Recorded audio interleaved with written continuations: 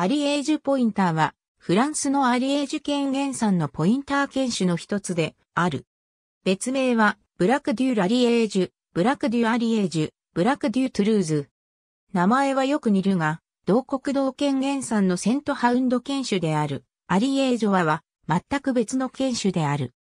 本種の先祖は、ガスコーニュポインターとピレニアンポインターと同じ、ポインター犬種で、スパニッシュポインター、ブラッコイタリアーノ、などの血を引く重量のあったポインター犬種である。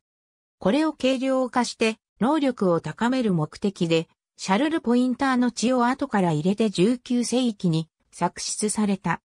20世紀に入ると狩猟スタイルの変化により、本種をさらに俊足にする必要が高まり、サンジェルマンポインターやフレンチポインターなどの血が導入され、スタミナを落とさずスピードを上げ、今日の姿となった。主に荒れ地でポインターとして使われる。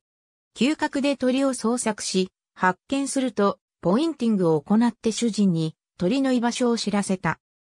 これをもとに、猟銃で獲物が撃ち落とされ、落ちてきたものを回収して、主人のもとに運ぶことも大切な仕事の一つである。20世紀に気質の通り狩猟スタイルの変化により一度絶滅の危機に陥ったが、1990年に犬種クラブが設立され、保護の強化と改良が行われた結果絶滅の危機を免れた。現在も現役の実猟犬として飼育されることが多く、ペットやショードッグとして飼育されることは稀である。わずかな個体がアメリカや隣国に輸出されていて、そこではブリーディングも行われている。しかし、現在も大半はアリエージュ犬で飼育されていて、そこ以外ではかなり珍しい存在となっている。スリムで引き締まった体を持ち、足が長く走るのが速い。胴も長めだが、サイトハウンドのようにくびれていて、胸は深い。マズルは短めで、上唇には、たるみがある。このたるみは獲物を回収するとき、傷をつけないようにしっかりと加えるために発達したものである。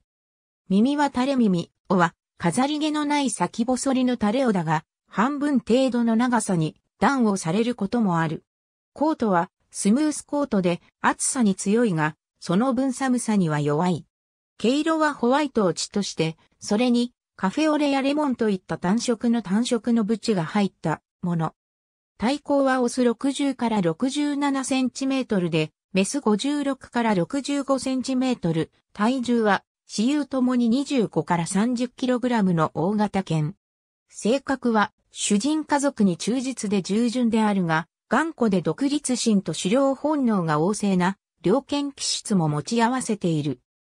しつけの飲み込みと状況判断力は高いが、喫水の猟犬であるため主人からしかしつけを受けない上、自身が主人とみなさない者に対しては言うことを聞かず、一貫した厳しいしつけと訓練が必要である。また、小動物に対しては、仕事柄上、見境がなくなる。スタミナが多く、運動量も莫大である。吠え声も大きくよく響くため、猟犬の飼育に精通した人向けの犬種であると言える。初心者の飼育は極めて難しい。